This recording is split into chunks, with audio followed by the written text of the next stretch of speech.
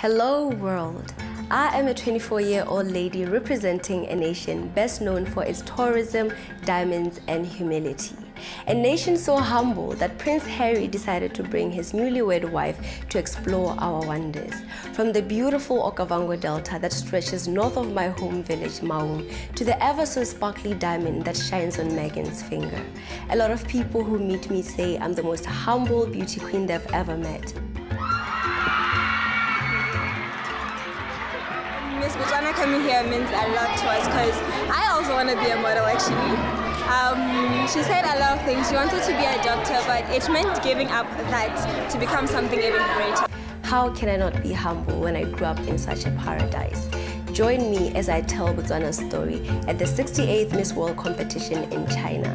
I am Moitshepi Elias. See you in Sanya.